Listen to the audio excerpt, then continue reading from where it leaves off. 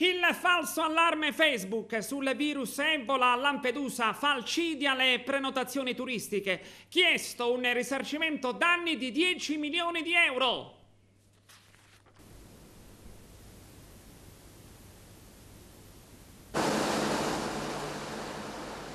Lampedusa i telefoni degli alberghi, dei bed and breakfast e degli affittacamere hanno squillato a raffica e gli indirizzi di posta elettronica sui computer sono stati inondati.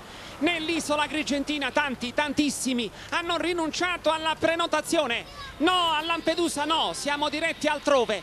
Ma perché avete prenotato? Sì, è vero, ma siamo preoccupati. Il virus di Ebola ma è una bufala, non è vero? Eh sì, ma la prudenza non è mai poca. Arrivederci alla prossima stagione.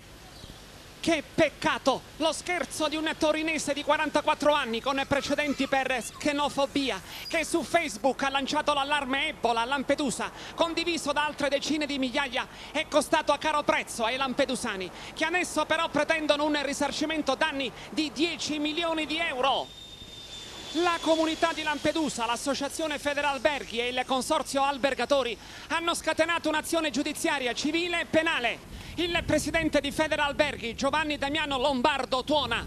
La popolazione da più di un decennio si è spesa in termini di accoglienza e solidarietà verso il gravissimo flusso migratorio. Purtroppo gli aspetti negativi del fenomeno migratorio sono identificati con l'isola di Lampedusa e Linosa l'ennesima bufala di cui un irresponsabile è stato cassa di risonanza sui social network rappresenta un altro attentato alla fragile economia di un territorio già provato.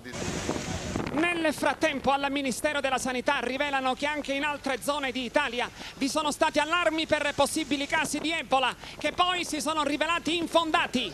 Il Ministero assicura le strutture del sistema sanitario nazionale hanno gestito alcune segnalazioni di possibili casi di importazione di malattia di Ebola, poi non confermate dalle analisi svolte. Tutte le strutture sanitarie di frontiera e di ricovero continuano a vigilare costantemente, pur nella consapevolezza che la situazione per quanto riguarda l'Italia e l'Europa resta assolutamente sotto controllo. L'individuazione dei casi sospetti dimostra l'efficacia della vigilanza italiana.